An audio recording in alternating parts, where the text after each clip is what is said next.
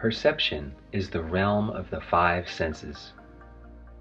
Perceptual problems are never real problems, although they can point us back to the one problem of believing in separation. Perception is the realm in which we appear to be in. This was highlighted for me when my sister got married. The day after the wedding, people from different generations were gathered watching TV. It was a comedy special. Because there were so many of them, I couldn't see the TV. All I could see were faces turning red, eyes shifting around, some embarrassment, some downright humiliation, and some outright anger and rage.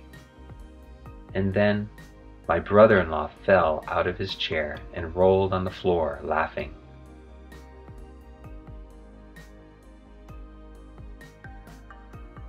They were all watching the same images, and they were all listening to the same sound. Yet they were each seeing something different.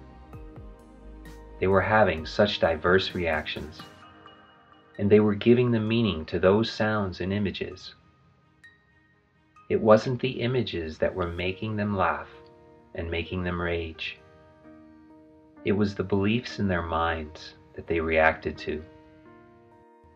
A world is going on in our minds, the world of images and the thoughts we're thinking.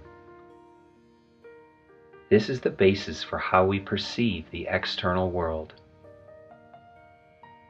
It's more accurate to think of the eyes as projectors rather than receptors.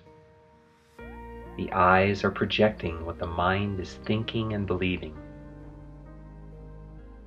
Because of the filter of consciousness or ego, the body senses a world that is part of the projection. So we are just drawing forth witnesses to what we believe and think all the time.